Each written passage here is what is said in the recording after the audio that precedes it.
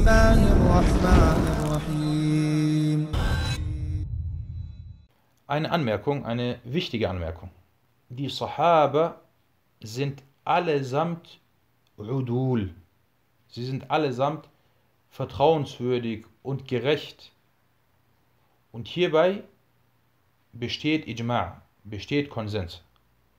Allah subhanahu wa ta'ala sagte in, im Koran in Surat Ali Imran, Kuntum khayra ummatin ukhrijat linnas. Ihr seid die beste Gemeinschaft, die für die Menschen hervorgebracht worden ist. Das ist vor allem auf die Sahaba zurückzuführen oder auf die Sahaba bezogen.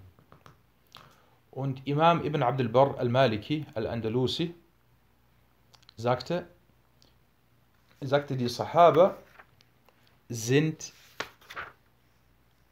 alle gerecht, alle Udul. Und man ist mit ihnen zufrieden. Und sie sind vertrauenswürdig und genau.